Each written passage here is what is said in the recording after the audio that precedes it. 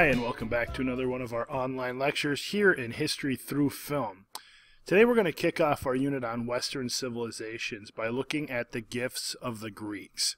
Really, that's the way we're going to frame this whole unit. Uh, we're going to start with the Greeks, we're going to move on to the Romans, and we will finish the unit by looking at the French and the British. And the idea is we want to look at what those civilizations have provided mankind.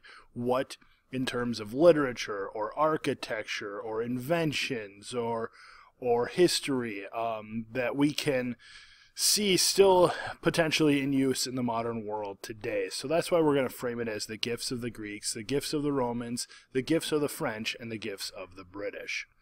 So our learning targets today say, trace the development of Western civilization using aspects provided by the cultures of the Greco-Roman world. Well, that's Greece and Rome, and we're going to spend the first probably week and a half on Greece and Rome in this unit. So we're going to be adding to this learning target as we move along. The second question is a little bit more of a direct comparison. It says compare and contrast the accomplishments of the Romans and the Greeks. And again, we can't answer that until we have the information on both the Greeks and the Romans. Today we're just going to get the information on the Greeks. So let's look at our list here of contributions made by the Greeks. This is going to kind of be our roadmap as we move forward here today. We're going to talk a little bit about Greek religion, Greek literature, Greek warfare, Greek philosophy, Greek architecture, Greek government, and we'll finish with sports in the Olympic Games. All of these ideas have either trickled down to 2016 or they have trickled down to other civilizations and had a huge influence on them, um, and therefore have made uh, a big impact on many different people. So we're going to briefly look at each one of these here today. Now you have to understand, we're not going to necessarily do a whole history of Greece here. We are going to talk a little bit about them just in case you have not taken world history or unfamiliar with who the Greeks are. The Greeks really are a unique people because they're surrounded by water. You have the Ionian Sea to the west, the Aegean Sea to the east, and the Mediterranean Sea to the south. And Greece itself is a peninsula made up of lots of different islands. So naturally the water is going to play very heavily in this. The most important uh, city for the Greeks was Athens which you can see here, but we'll talk a little bit about Sparta as well. Of course, there are many other Greek city-states worth mentioning, um, and we talk a lot more about those in world history. So who were the ancient Greeks? Well, the ancient Greeks lived in a collection of small city-states on the mountainous peninsula of Greece. And city-states are interesting because a city-state is something that is like its own country.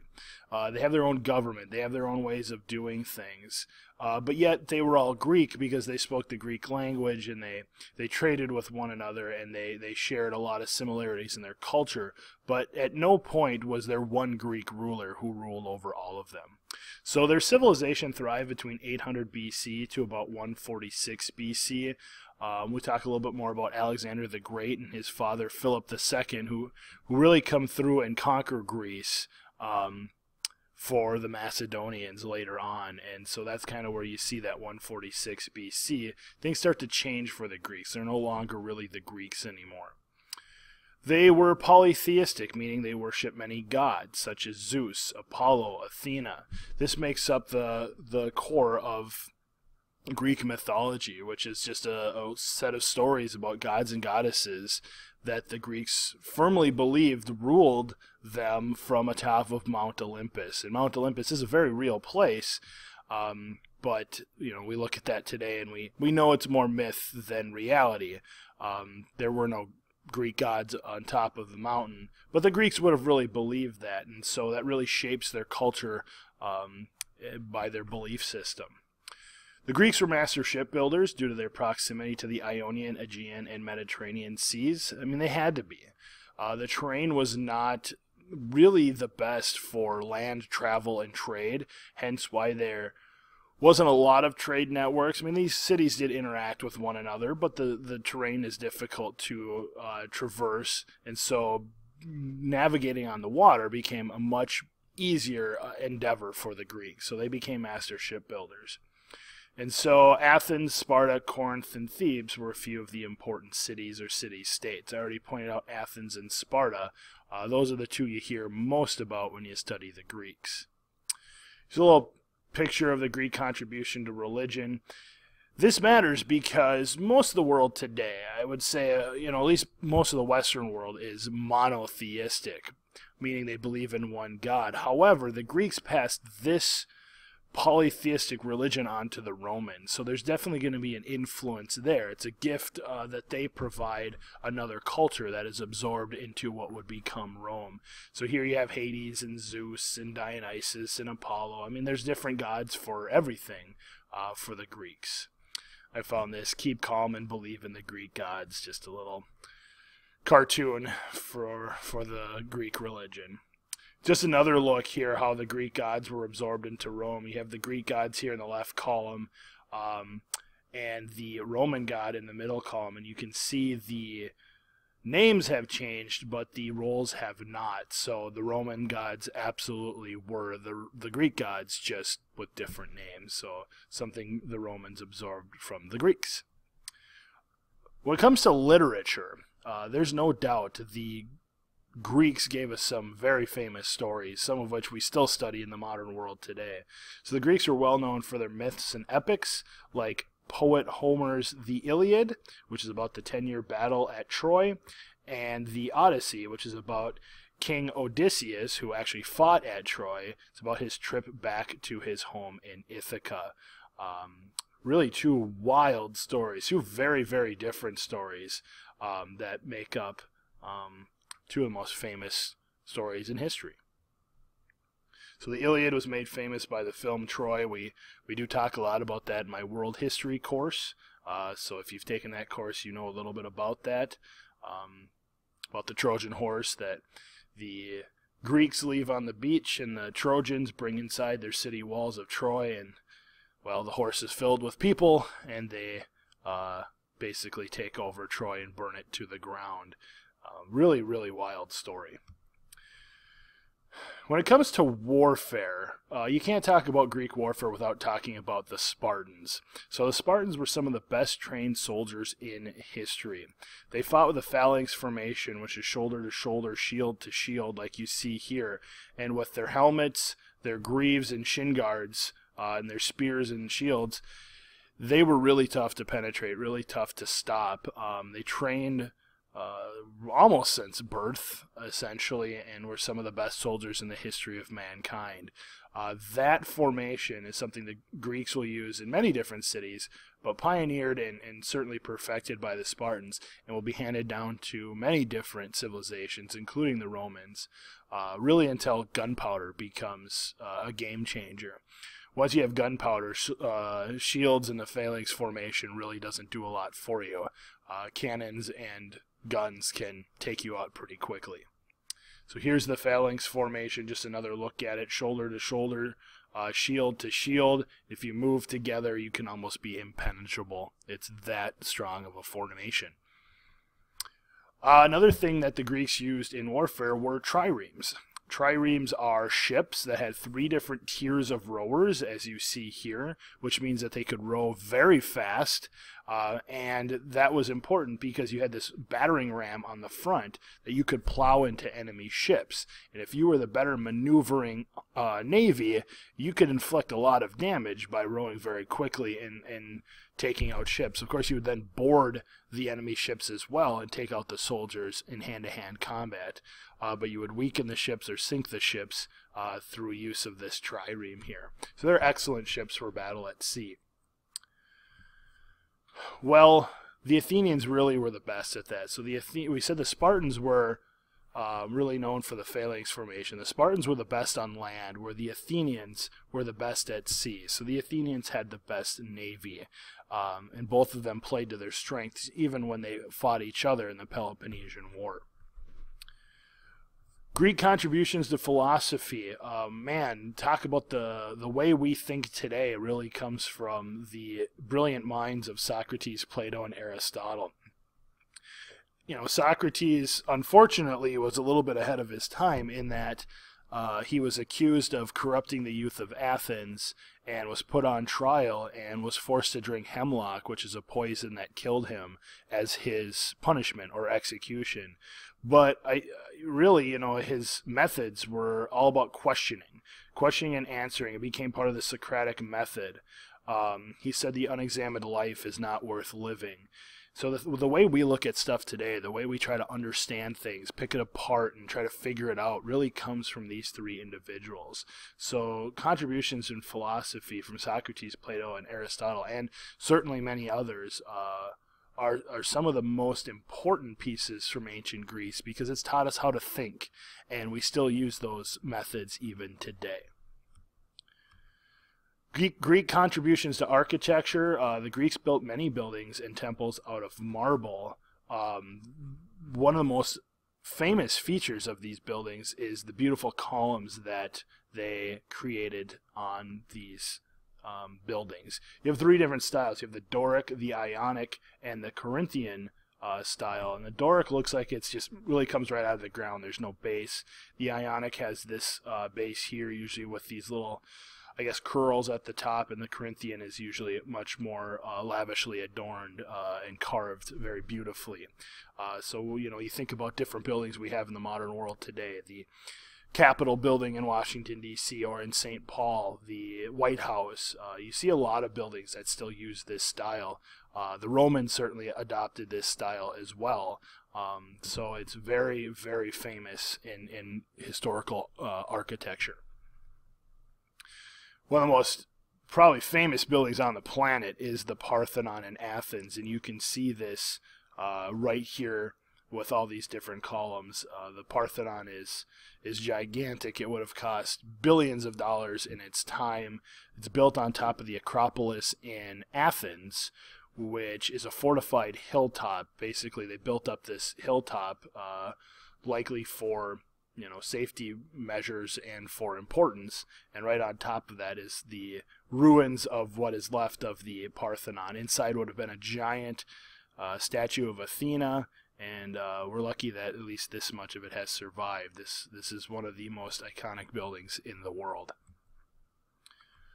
The Greeks uh, were also very well known for their dramas, tragedies, and plays, um, and you really can't perform those unless you have a place to do so. So the Greek amphitheater uh, became world famous. There are many of these that still exist, some of them in better shape than others, but uh, what's really interesting about these is the acoustics were fantastic.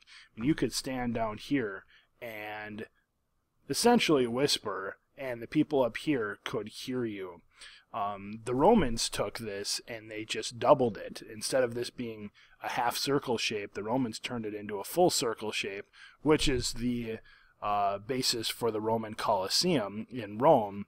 And we were able to visit one of those in uh, Verona, which is in Italy, a smaller amphitheater than the Colosseum. And sure enough, we stood at the bottom, and you could you could hear acoustically very very well in there. So uh, you know, these actors would have masks on, which would amplify their voice a little bit, almost like a megaphone. But in the end, you didn't necessarily need to shout and yell because if the audience was quiet enough, uh, they could hear the actors perform, even if they were sitting way in the back.